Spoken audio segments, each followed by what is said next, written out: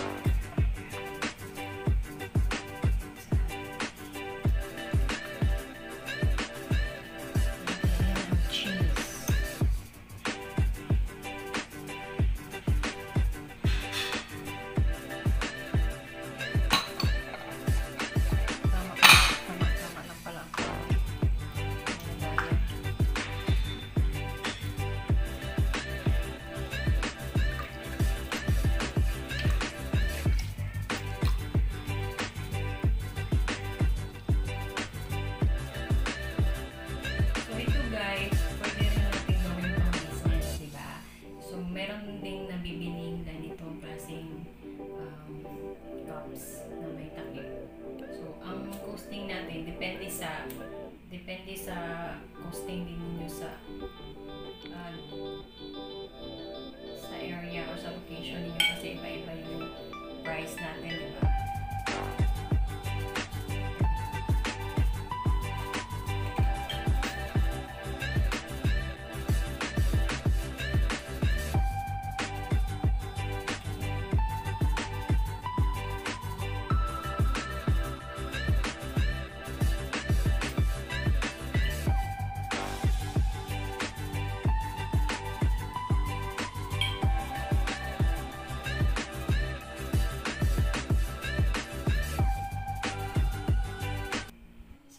Na guys ang buko pandan or buko sagot gulaman.